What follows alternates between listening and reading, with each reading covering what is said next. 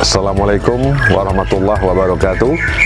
Saya Popo Ali, Bupati Kabupaten Oku Selatan, mengucapkan selamat hari jadi Kabupaten Ogan Komering Ulu yang ke-114 pada tanggal 29 Juli tahun 2024. Dengan semangat hari jadi, mari bersama untuk saling bersinergi membawa Oku tumbuh menjadi lebih baik dan semakin tangguh.